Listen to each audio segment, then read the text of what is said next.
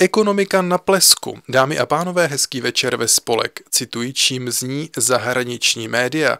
Pokud dnes udělám přímý přenos, pak po Zemanově vystoupení v TV, chtěl bych být v obraze. Díky za pochopení a ještě od zítra měním vysílací schéma.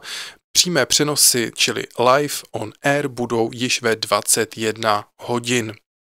A nyní k věci, čiliš neboliš. Zajímalo vás, jaká je situace s rublem a úrokovou sazbou.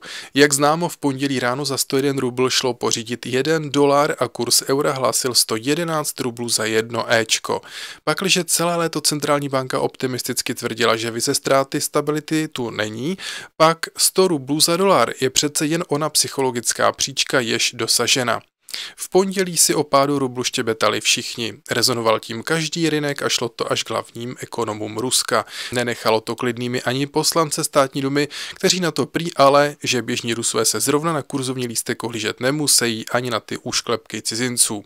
Dokonce jsem slyšel možná ironickou spíše poznámku, že tabla směnáren mohla trpět nedostatkem políček při zobrazování kurzovního rozdílu, pokud by to mělo být na kopějky přesně. Nakonec brblali už všichni, až na ty poslance.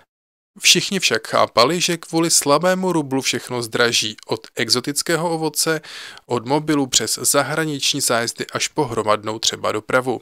V centrální bance učinili rázný krok a 15. srpna Rada ředitelů banky RF se sešla k mimořádnému zasedání. Bylo učiněno rozhodnutí pruce zvednout úrokovou sazbu sice z 8,5 do 12% PA. Nárůst o 3,5% je celkem velký skok za posledního půl druhého roku. Jakýže je výhled? Sazba zvýšena, aby se zabránilo v růstu cenám. Co je to ta úroková sazba? Je to úrok, na který půjčuje centrální banka ostatním bankám.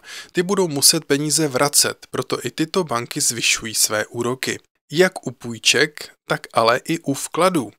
Ve výsledku lidé více spoří, než aby utráceli v obchodech. Poptávka po službách a zboží klesá, růst cen zpomaluje.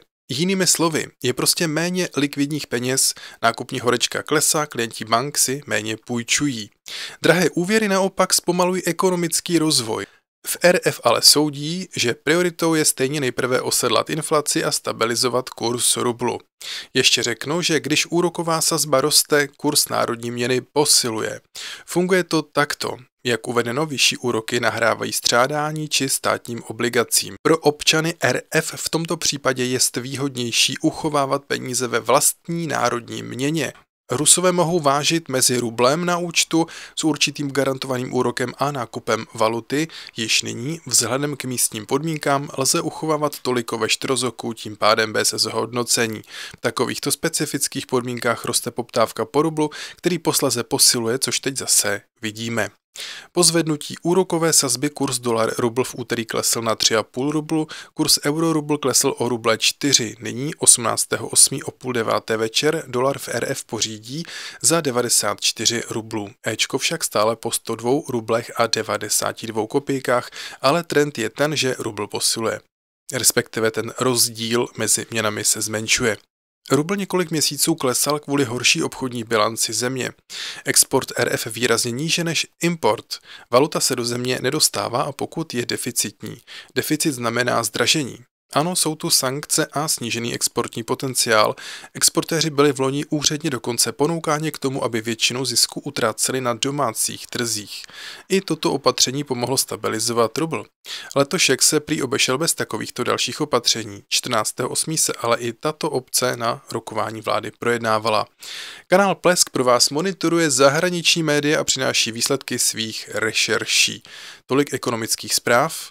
Byl s vámi váš Vladimír Franta.